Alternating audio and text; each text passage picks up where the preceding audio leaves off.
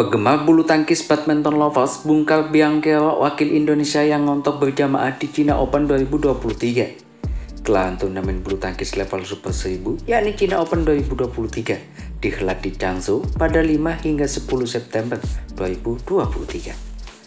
Para pebulu tangkis papan atas dunia dan Indonesia ikut serta meramaikan turnamen Grade A BWF tersebut karena poin yang didapat terhitung cukuplah besar. Sayangnya, beberapa wakil unggulan Indonesia mencatatkan hasil yang kurang maksimal di babak awal penyelenggaraan China Open 2023. Sebut saja Fajar Alfian dan Muhammad Tiran Ardianto, Leo Likanando dan Daniel Martin, Gregoria Mariska tunjuk harus angkat koper lebih awal di turnamen ini. Fajar Alfian dan Muhammad Tiran Ardianto selaku unggulan pertama harus terhenti langkahnya di babak 32 besar usai takluk dari pasangan Denmark Ken Astrup dan Anders Asmussen. Sementara Leo Likanando dan Daniel Martin juga harus mengakui keunggulan wakil tuan rumah yang Wei Keng dan Wan Chang dalam dua game. Ya, kejutan lainnya juga terjadi di sektor tunggal putih, di mana Gregoria Mariska Tunjung terhenti lebih cepat usai kalah dari wakil Vietnam Nguyen Linh Thoi.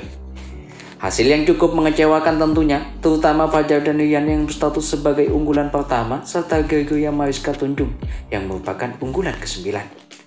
Sementara itu, Indonesia juga berhasil meloloskan beberapa wakilnya ke babak berikutnya. Tim bulu tangkis Indonesia memang tengah menjadi sorotan badminton lovers karena performa yang kurang memuaskan di pertengahan musim 2023 ini.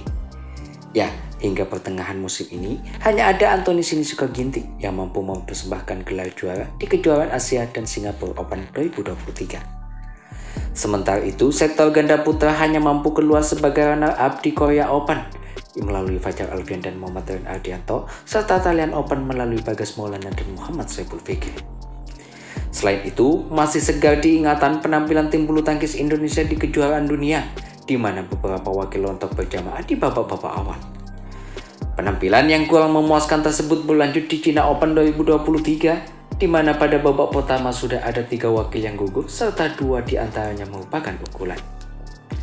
Melansir dari cuitan dari akun X Twitter, Zona Bulu Tangkis, Badminton Lovers, Indonesia membongkar biangkel beberapa wakil yang gugur di babak pertama. Cuitan tersebut lantas menjadi bahan diskusi badminton lovers di kolom komentar yang juga menyoroti kegagalan para unggulan Indonesia seperti Fajar Alfian dan Muhammad Rian Ardianto serta Gregoria Mariska Tunjung di China Open 2023. Semakin tertinggal dari negara-negara kuat, ketolong jauh juga kalau nggak ada wah gak tahu gimana kata seorang netizen. Segudang pertanyaan terkait menurunnya performa atlet Cina. Tsunami fakta, banyak banget masalahnya, kata netizen yang lain menambahkan.